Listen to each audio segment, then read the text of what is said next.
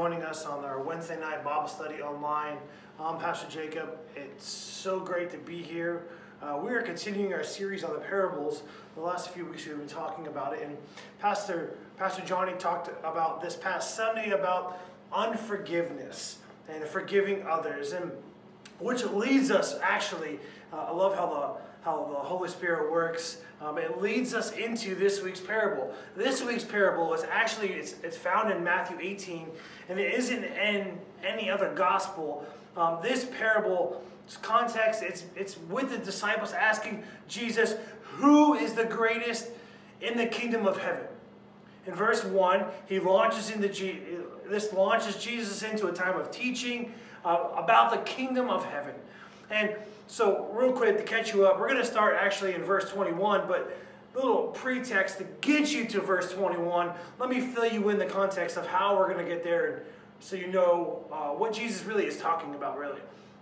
So, in verse 2 through, 2 through 6, um, Jesus is talking about how one must have uh, be like a child to enter the kingdom of heaven. That's when we hear about the childlike faith. Let the children come to me, um, those who are, have childlike faith. Uh, and then in verse 7 through 9, Jesus warns, uh, warns on a, a, seriousness of, of guarding ourselves against temptation and how we do that. And he talks about that. And then in verse 10 through 14, Jesus shares the parable of the lost sheep. Now, last week we didn't talk about the lost sheep. We talked about the prodigal son, the lost son, but it's in the same context of the lost coin and the lost sheep going in order in the other gospels. And then in verse 15 through 20, right before this parable um, this evening, we see a guidelines on how we're supposed to handle confrontation with, with people inside the, the, the kingdom of heaven.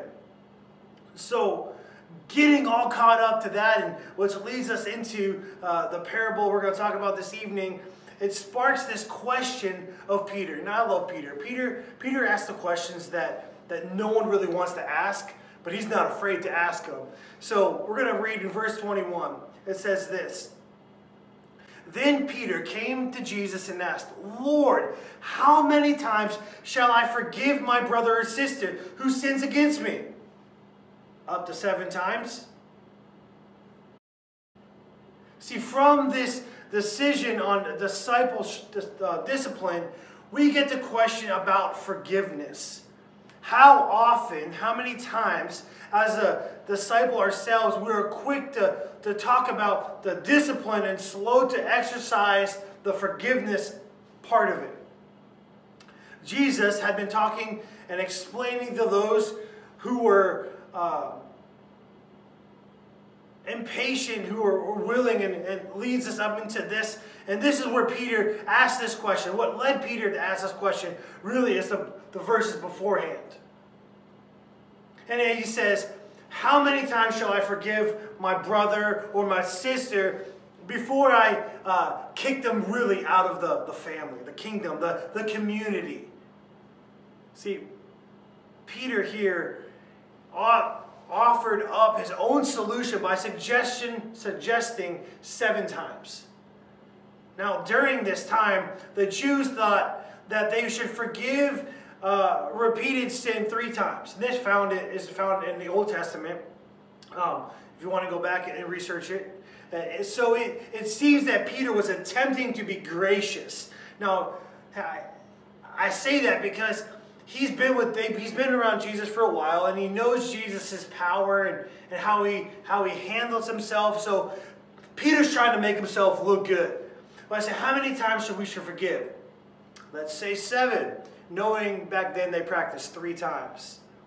All right, so if he doubled the number, then he added one, it gives you the number seven. And it's it's that, that number seven, which is the, the holy number. Now, now that Jesus heard this question, he's quick to answer the question of Peter. And we find this in Matthew 18, 22. Jesus answered, I tell you, not seven times, but 77 times. See, when you, when you hear this, Jesus is actually uh, giving a, a, a sarcastic answer, really. He gives a Spark Notes version of the parable of the, the unforgiving servant who offers a quick answer and says, No, no, no, Peter, not, not seven times, but 77 times. See, the point here is not the number, although uh, for a long time I thought that was the magic number and, and kept track. 77 times I forgive somebody, and the 78th time that you do something wrong, nah, you're done. You're gone. But he's really telling us it's, it's not about the, the really the number or the formula to keep track of how many times we need to forgive our, our Christian friends. Friends, Jesus was not specifically uh, uh, giving a number to his disciples to forgive others, but he clearly uses this in the parable of the unforgiven servant. So that's all to say, just to get to the parable of where uh, what we're going to talk about tonight. So in Matthew 23 through 35, we're going to read it, and then we're just going to break it down, discuss it, and how do we apply it to our lives. So again, open up your Bibles, not your phone because you're watching, and let's, let's read. Therefore, the kingdom of heaven is like a king who wanted to settle the accounts with his servants. As he began, began the settlement, a man who owed him 10,000 bags of gold was brought to him. Since he was not able to pay, the master ordered that he and his wife and his children and all that he had be sold, repaid the, be sold to repay the debt. At this, the servant fell to his knees before him. Be patient with me, he begged, and I will pay back everything. And the servant's master took pity on him, canceled the debts, and let him go. But when the servant went out, he found one of his fellow servants who owed him a hundred silver coins. He grabbed him and began to choke him. Pay back what you owe me, he demanded.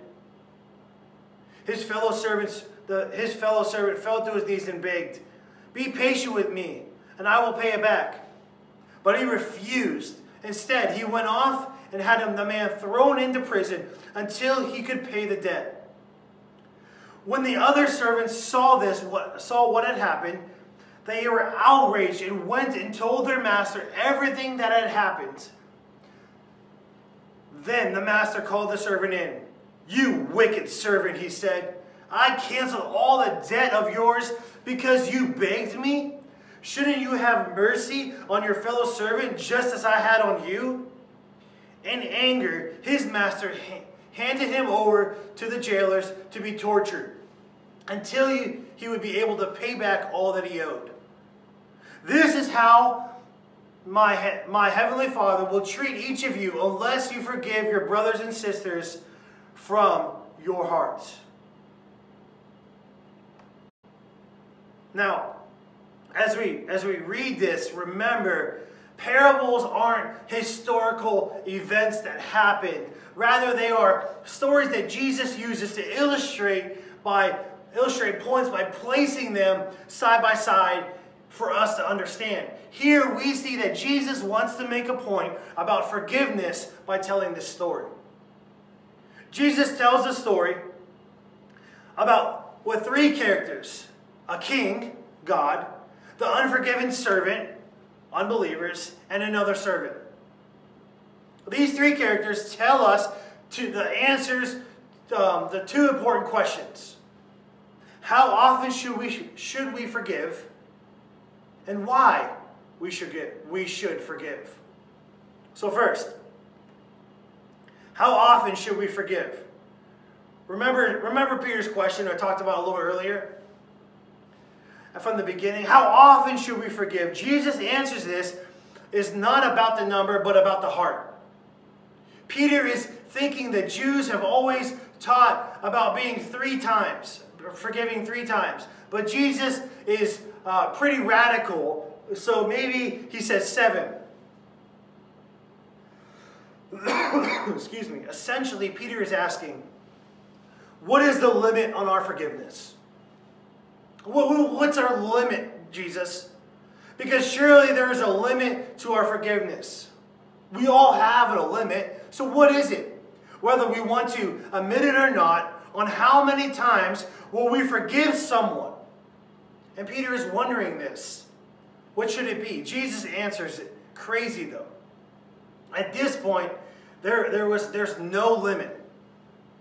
Now, our natural reaction to this is, is why? Why isn't there a limit to the times we forgive somebody? Well, why are we why are we to forgive like this? Why should we forgive forgive at all? Well, this is exactly the parable that Jesus is, is talking about. So let's let's break it down verse by verse to help help us out a little bit. So, why should we forgive? So, as you remember, the verse starts out with the parable of uh, talking about a servant and a king. Well, the king calls his servants to be to pay what they owe to the king. A crazy uh, part that we find is a servant is unable, a servant having to answer for an unpayable debt to this king. The amount is 10,000 talents. It's just ridiculous. That, that, that amount of money. So here's what, here's what we're going to look at tonight. As my, as my good friend Shane Watson would say, let's, let's run some numbers. Right? That's, what, is, what is that equal to today? Now, a servant owned, so here we go. A servant owned how many? 10,000 talents. So we don't know the fraction in talents. Um, so let's put it in a number that we can that we can understand really. A denarius, one. One denarius is a, a day's wage. One talent is 6,000 denarii, denarii, or however you say it. I can't say it. We have dollar bills and coins. Back then, so one talent is worth 6,000 denarius. So 10,000 talents would be equal to, uh, let me see here, 10,000, carry the 1, divided by 3, lift it up, core math. Um, we could figure that out, but back then we had real math. Um, that's 60 million days of work. So that's about 164,383.5 years. See, this is an unpayable debt. That the, the, the, the character back then is 10,000. Mera, which hence the, the, the word myriad, is the largest numeral, numeral for which Greek, the Greek term exists. And the talent is the largest known amount of money. When the two are combined, the, the effect is like in the zillions. So, according to my quick running numbers, or running it by my, my uh, number cruncher, Mr. Shane Watson, that this is not a real good deal for the king. And, my question is, is, how does he even get into that much debt? Somebody needs to go to Dave Ramsey. But the king justly says that the servant and everything he has has to be sold to make payment for his debt. Now, this payment would be just like uh, uh, like three cents to his compared to what he owes to the king. It's, it's unthoughtable. The the blindly forgiving would be would be unthinkable. So, the servant he racks up this debt that is blindly forgiven out of pity. This word pity is also translated as, a, as, a, as compassion or an act of love.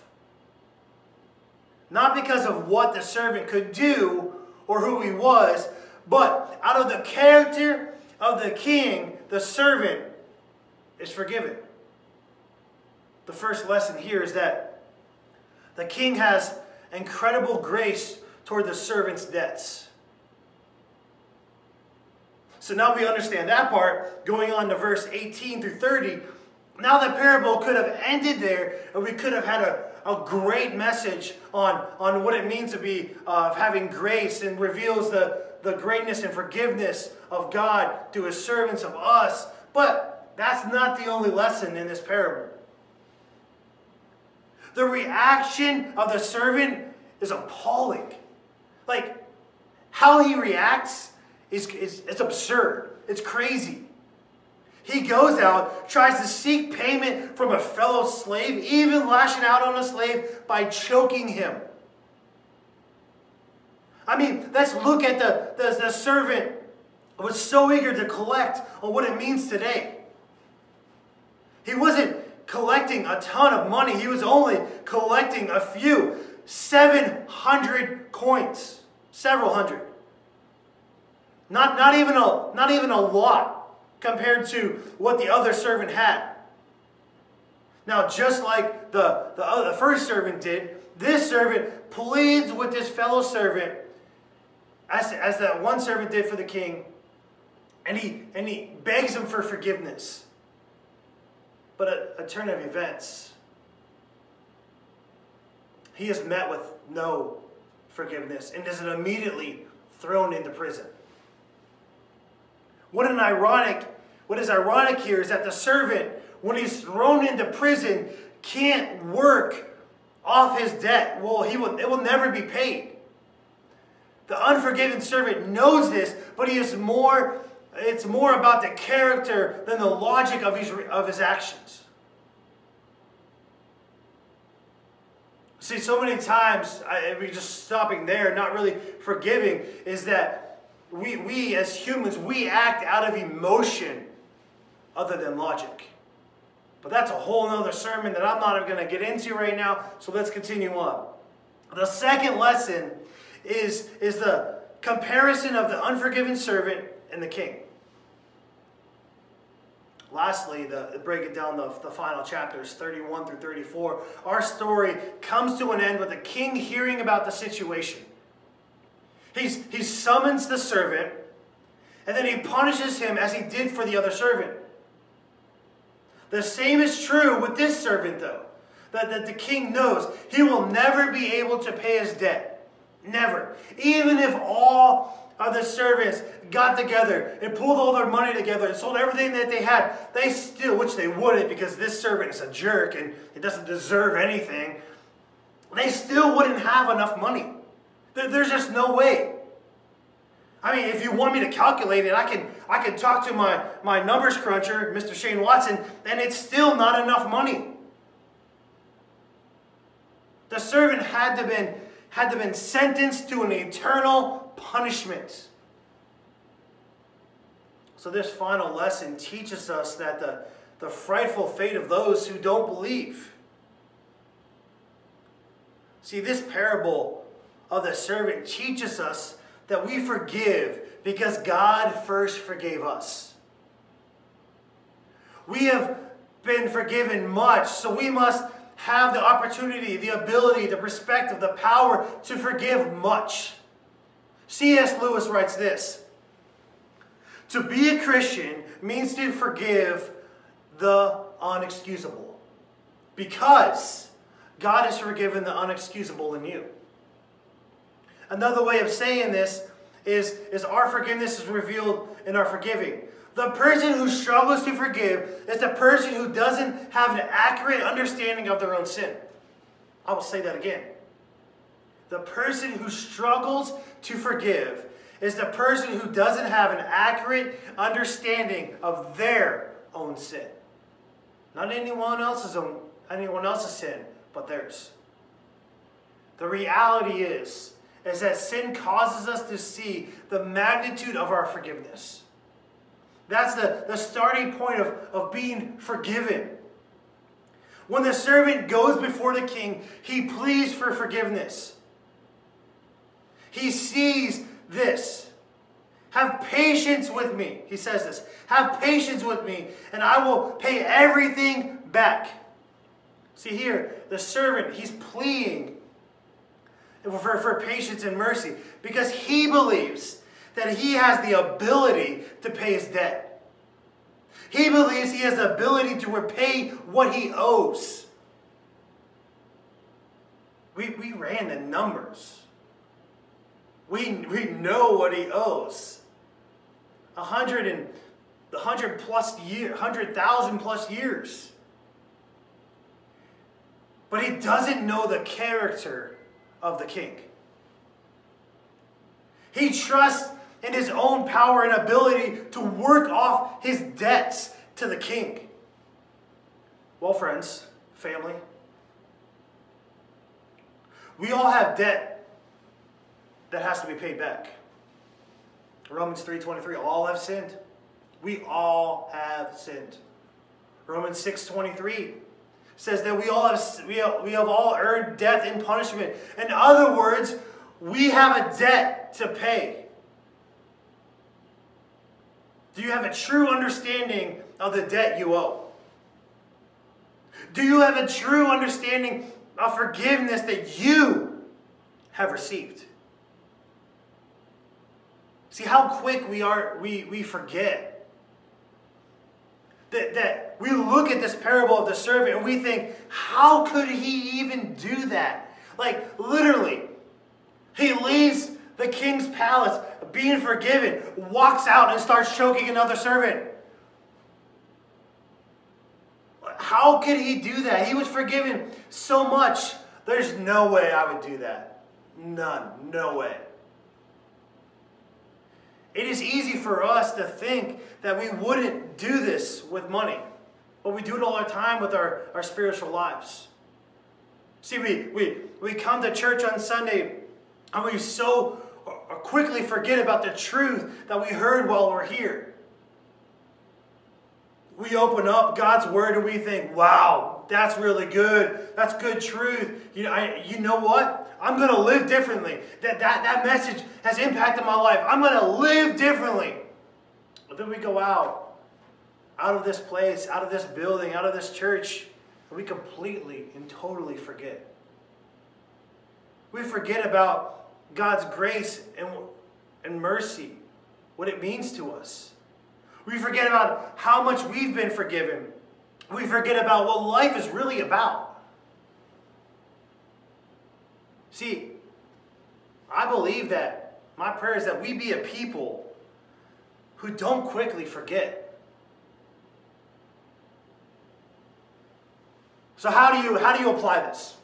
Now that we broke it down, now that I made us all feel like little bitty people saying that we were so quickly to forget, how do we change this? How do we apply it to our lives? Two parts. Actually, I'm going to talk about two different types of groups and how, how you can apply it to your life. I'm going to talk about the, the, the believer and the unbeliever. So, what we learned from this parable about the unforgiven servant, we're going to talk about to the believer first. So, if I'm the believer, this is, this is what you need to know. Who have you not forgiven? Think in your head right now about anyone in your life that you might be holding something against. This baggage will continue to pile up until you understand that you were called to forgive them. Because you have been forgiven of so much. To the unbeliever, or someone who, who questions their belief in God. I invite you to experience this forgiveness. There is no greater decision to be made this evening than the decision to trust Christ Jesus with your life. I believe that, that He is the, the author of our salvation, and you can trust Him that His death has paid the, your punishment and your debts and the things that you need to be forgiven. If you're wondering where you will go when you die, then an end to the question this evening is this trust in Him. He will forgive you first and then you can pass it on.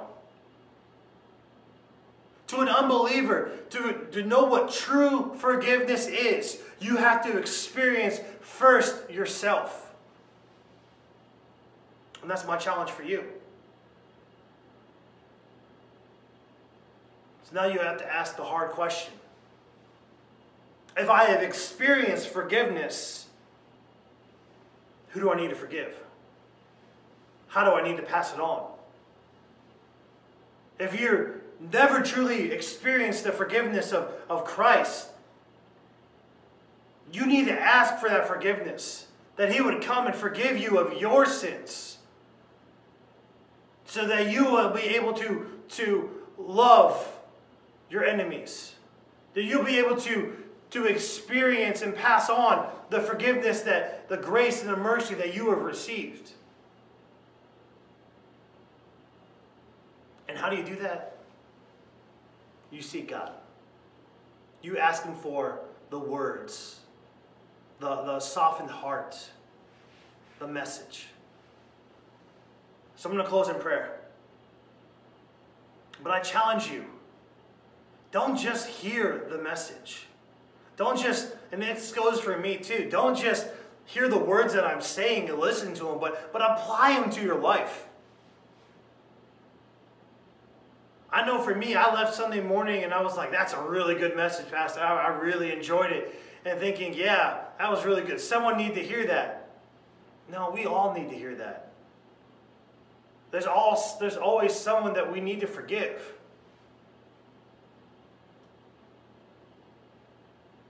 Let's pray.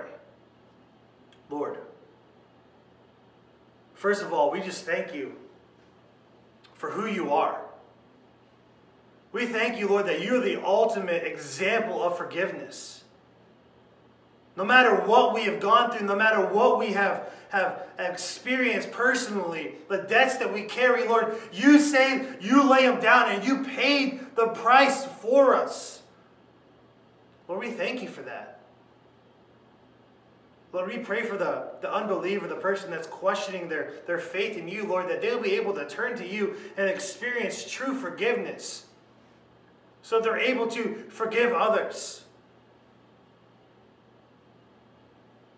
So, Lord, if there's someone that we need to forgive, even if it's ourselves, Lord, I pray you give us the words, the desire, the, the, the hunger, the, the, the drive to go out and to forgive. Well, let us be a, a, a people, a church a congregation, Lord, that doesn't forget quickly. Lord, we thank you that you have blessed each and every one of us. Lord, that we are, we are no longer slaves to sin because of what you've done on the cross for us. So, Lord, as we, as we go about the rest of this week, Lord, I pray Lord, that, that we would have divine appointments. Lord, that we know the person that we need to forgive, that we will cross paths with them and be able to forgive them. Lord, we just thank you. We thank you for those hard moments. We thank you, Lord, that you're shaping us into your image, not our image, because Lord, uh, we can't do it on our own. I've never seen a statue chiseling itself. So, Lord, continue to mold us. Continue to, to guide us, to shape us into your image of forgiving others. Lord, because you have forgiven much for us. In your name we pray. Amen. Hey, can't wait for you to join us on Sunday morning at uh, here at WFA. Um, be blessed and have a great week.